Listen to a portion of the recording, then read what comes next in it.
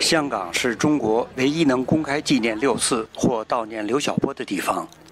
追思会星期六晚开始后，支联会主席何俊仁宣布为刘晓波默哀一分钟，向刘晓波铜像三鞠躬。参与人士手持蜡烛，以烛光悼念刘晓波。现场有一百多人。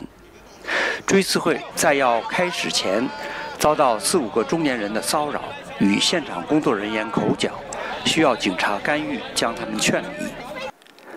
支联会主席何俊仁对美国之音表示：“港人悼念刘晓波，怀念他一生追求民主的精神，同时也是对港人目前坚守一国两制下的自由空间的抗争的鼓舞。”第一方面，当然我们是呃悼念刘晓波啊，我们又记住他争取民主的呃自由的精神。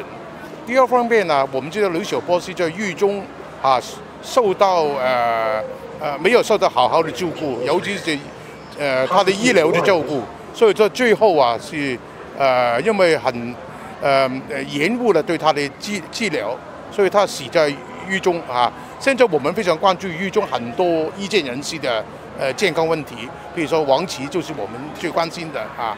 当然我们现在也是非常呃呃了解。如果中国不能实现民主的话呢，香港的这高度自治跟民主是很难得到实现的。一九五五年出生的刘晓波，曾因参与一九八九年由学生发起的天安门民主运动而被捕入狱，曾担任两任独立中文笔会会长。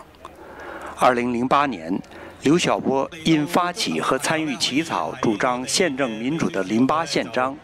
遭中国政府逮捕，第二年被以煽颠罪判刑十一年。二零一一年，狱中的刘晓波荣获诺贝尔和平奖。二零一六年六月，突然传出狱中刘晓波罹患肝癌末期。